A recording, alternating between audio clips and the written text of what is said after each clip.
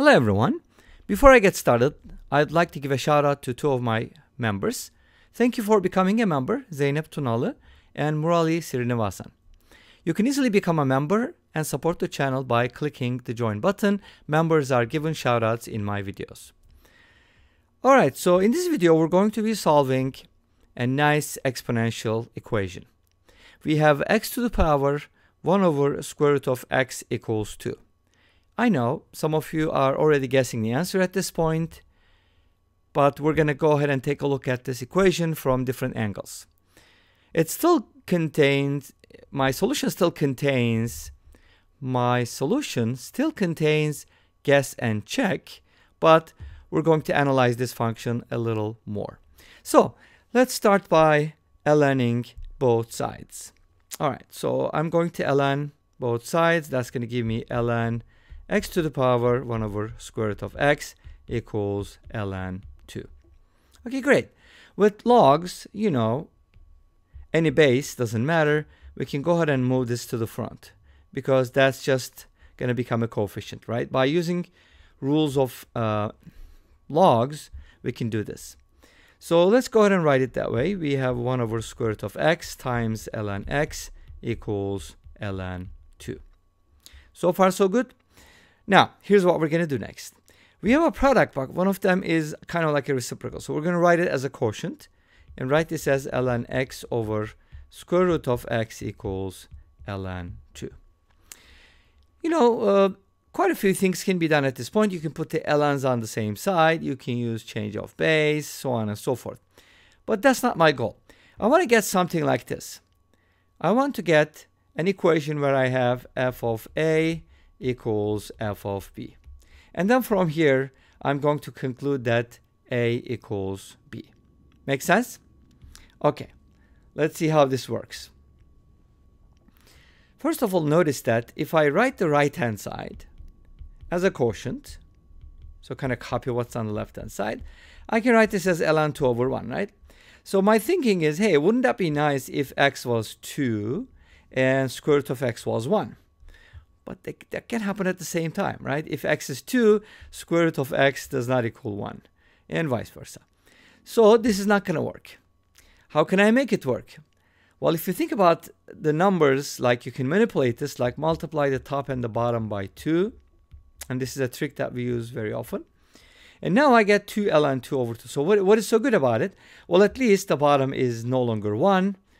And this one can be moved to make an exponent. So we can write this as ln 2 squared over 2, which is ln 4 over 2. Now let me rewrite it for you. ln x over square root of x equals ln 4 over 2. Awesome. Why is it awesome? Because it works. Look at this. If x is 4, square root of x is 2. And yay, we got a solution. I'm not saying these are all the solutions, but at least we got one solution. So that's good. All right, so x equals 4 works.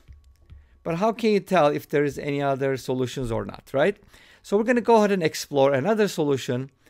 And we're going to analyze this a little bit from a calculus perspective. We're going to take the first derivative, so on and so forth. And also take a look at the graph at the end. So what is the other solution and where does that come from? So we're going to, since our approach worked, now why not repeat the same process? There's no guarantee, but you know, it might just work. So let's go ahead and try that. I know that this is ln 4 over 2.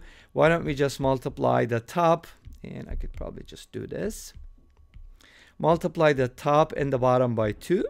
And that's going to give me 2 ln 4. And again, I can just skip a step here and write this as ln 4 squared, which is ln 16, divided by 2 times 2, which is 4.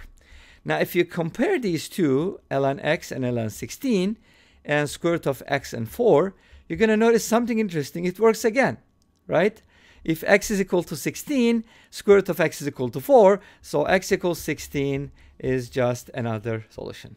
So why don't we just keep repeating the process and hopefully get infinitely many solutions? But things, things aren't always going to be that nice, but let's still give it a try. So let's see how this works. I got ln 16 over 4, and now I, I, I want to multiply the top and the bottom by 2, and this is going to give me ln 16 squared, which is ln 256, and 2 times 4 is equal to 8. Unfortunately, our solution fails at this point, or method, I shouldn't say solution, because if x is 256, square root of x does not equal 8, so we're actually done.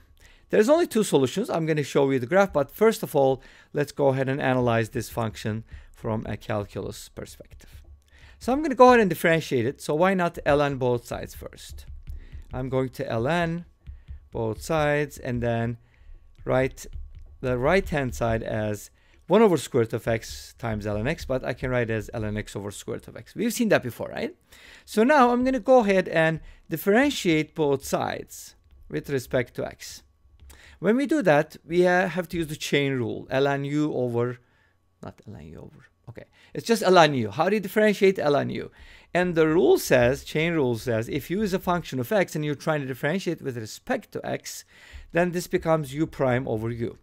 So that's the chain rule. So this is going to become f prime over f. And now on the right hand side, we have the derivative of a quotient, which is the derivative of the numerator, 1 over x, times the denominator, minus the derivative of the denominator, which is 1 over 2 squared of x, times the numerator. And all of that is divided by the denominator squared. Easy, right? That kind of looks complicated, but it is kind of easy if you know the rules. So I'm going to go ahead and multiply both sides by f of x, and then simplify the top a little bit. 1 over x times square root of x can be written as 1 over x, 1 over square root of x, and this one can be written as ln x over 2 square root of x, and all of that is going to be divided by x because square root of x squared is x. Okay, great.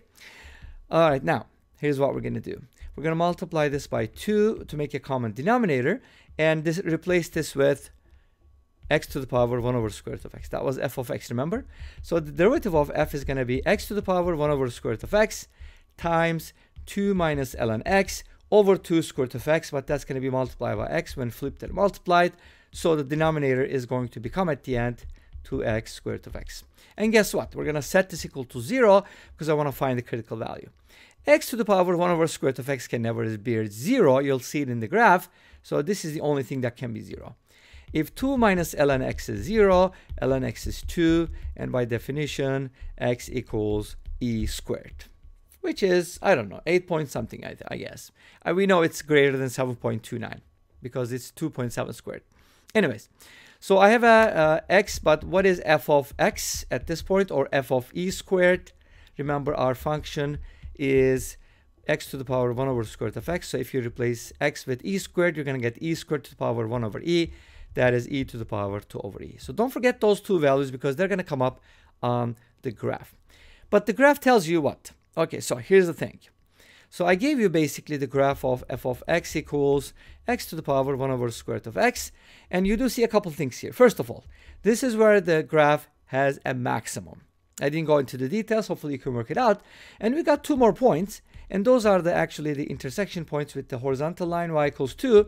We have a solution at x equals 4 and x equals 16. And this is a kind of like a curve that is concave down. And there's only two solutions. So the solution set is 4 and 16.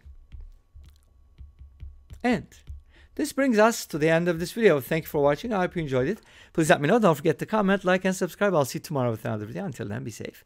Take care and bye-bye.